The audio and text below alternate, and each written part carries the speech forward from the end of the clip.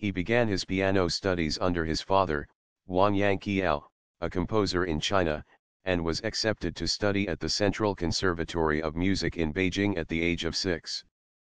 His studies later continued in Japan under Hiroko Edo, and in France at the Conservatoire National Supérieur de Musique in Paris, under Brigitte Engerer. He went on to study in Canada at the Glenn Gould School of the Royal Conservatory of Music, where he was a student of James Anagnoson.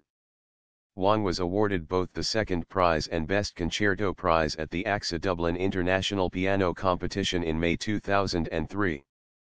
He was also a first prize winner in Brazil's Arts Lever competition, a gold medalist in the first Canadian Chopin competition, as well as receiving a special prize for both Best Mazurka and Best Polonaise, a silver medalist in the 9th Southern Missouri International Piano Competition, third prize in the 37th Maria Canals International Piano Competition in Barcelona, and a finalist at the Liszt competition in Budapest. His playing has been broadcast on CBC and CJRT Radio, and both Bravo, Arts Channel and City TV.